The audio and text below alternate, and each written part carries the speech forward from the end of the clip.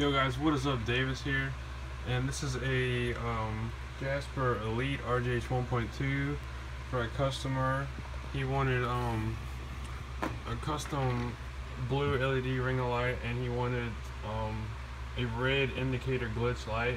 Which, if you guys uh, seen in my video before this, then um, you, you guys know what I'm talking about. So he didn't want any vent LEDs. He just wanted the console only with custom ring of light LED. So when you turn it on, it glitches just like that, and it tells you, you know, it, it's an indicator light, so it tells you if your console's glitching or not.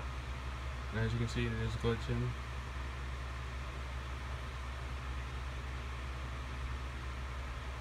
And it boots pretty fast. Those two cycles.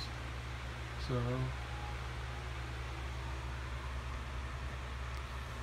I'm gonna turn it off and turn it back on.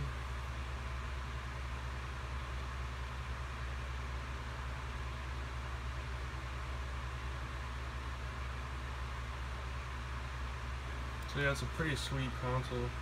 Hope you enjoys it. Peace out, guys.